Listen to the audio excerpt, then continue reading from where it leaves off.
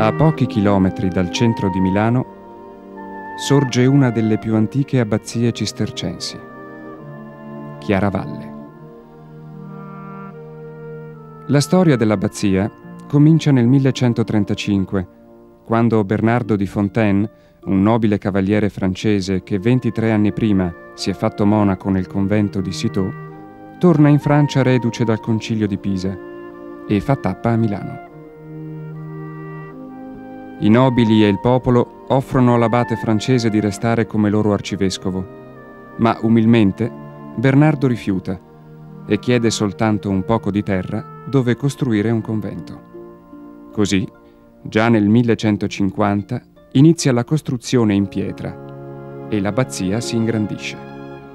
Tra il 1172 e il 1221 viene edificata la chiesa. Il bel portale d'ingresso alla chiesa è del XIII secolo. I battenti in legno, cinquecenteschi, portano scolpiti nei riquadri quattro santi, tra i quali è raffigurato lo stesso San Bernardo, che regge la chiesa con una mano. La facciata ha la tradizionale forma a capanna. Purtroppo nel Seicento essa fu in parte demolita e poi coperta con pietra bianca. Solo nel 1926 fu rimossa la parte superiore della copertura, riportando alla luce la bella bifora e il rosone centrale e ricostruendo le parti distrutte.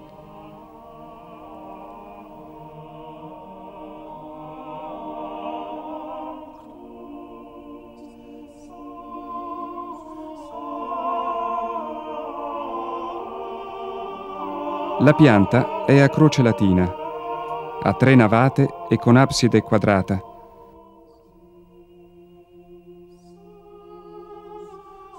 Lo stile non è puro, fondamentalmente è gotico, ma il valore dell'architettura cistercense deriva proprio dalla duttilità con cui i monaci si piegarono al gusto delle regioni in cui si trovavano.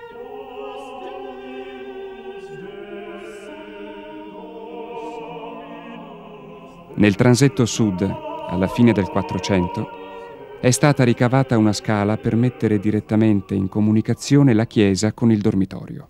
In cima alla scala si trova una bellissima Madonna con bambino, opera giovanile di Bernardino Luini. La Vergine sorride dolcemente ai monaci, che ogni sera, passandole davanti, ripetono, secondo la tradizione cistercense, il saluto evangelico Ave Maria. Nel transetto vi sono due importanti affreschi dovuti, come tanti altri, ai fiamminghini.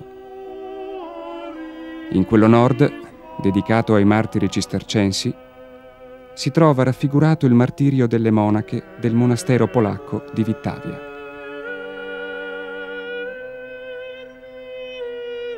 In quello sud, dedicato ai santi, beati e vescovi cistercensi, domina l'affresco dell'albero genealogico della famiglia cistercense.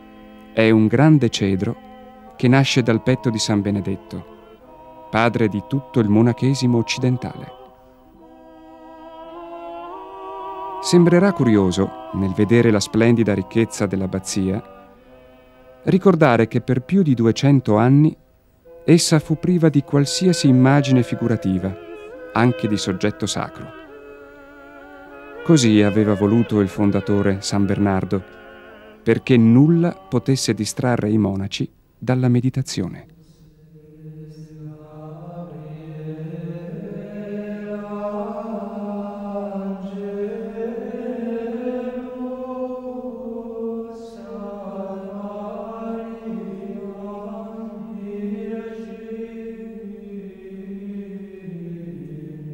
Anche il coro, un tempo, era soltanto austeramente funzionale, secondo la regola. Ma nel 1645 Carlo Garavaglia ne scolpisce una versione trionfale, che presenta vari episodi della vita di San Bernardo.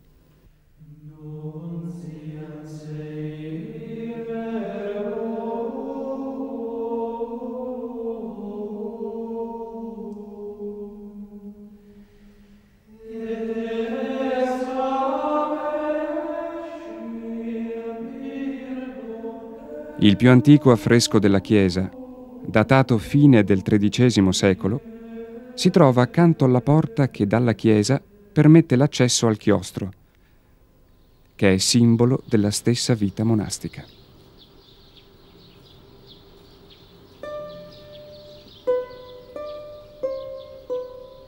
A causa delle distruzioni operate nel secolo XIX, il solo lato originale è quello nord che stiamo percorrendo, adiacente alla chiesa.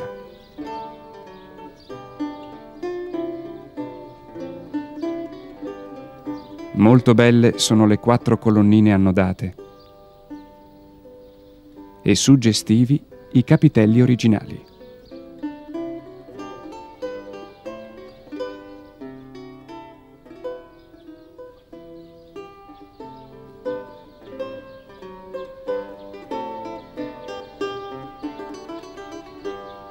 Vi sarebbe ancora tanto da dire e da vedere, ma è tempo di andare. Rimane l'invito a visitare questo luogo di pace, di spiritualità e di arte che ripropone intatto nel tempo il suo alto messaggio di civiltà.